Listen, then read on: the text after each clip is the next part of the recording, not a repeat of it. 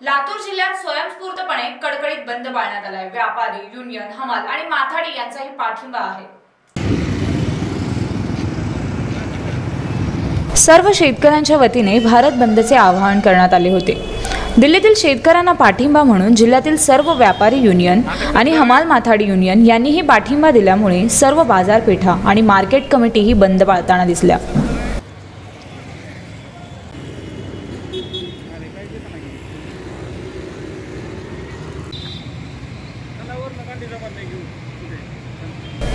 News fifteen मराठीसाठी रमेश लोंढे लातूर.